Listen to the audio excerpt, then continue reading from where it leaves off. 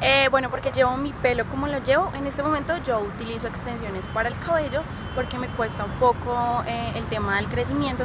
Siento que me representa como mujer negra y me hace sentir más segura.